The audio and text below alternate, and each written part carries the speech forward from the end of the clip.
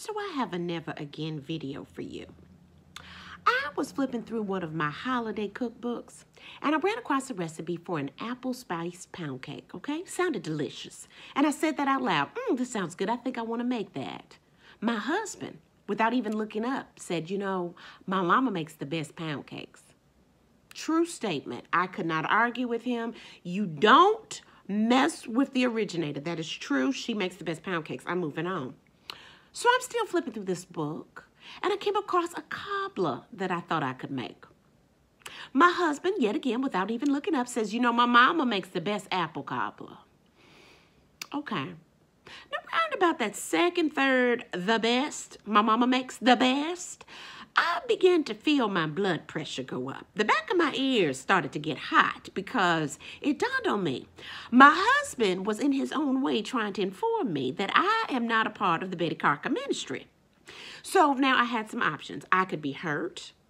I could be hurt. Um, or I could get mad at him. But you know what? I didn't do either. You see, we've been married for 13 years. And I know how to be a good wife. A good wife is a helpmate. That is what a good wife is. And clearly, this mate needs some help. You see, he didn't mean to do anything, he was just confused. He was confused about his biblical events. You see, I was trying to make a cake for the holidays, for Christmas, you know, for baby Jesus. You know, that, that's why I was trying to make a cake. But clearly, he didn't realize it was Christmas. He thought it was the Last Supper. Yeah, because it's going to be the last supper that I make for him. How about that? How about that? The kitchen is now closed. All the pots, oh, they're dusty.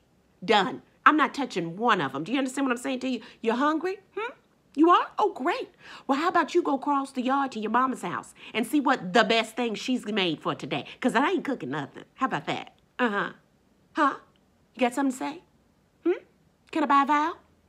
Crickets. Never again.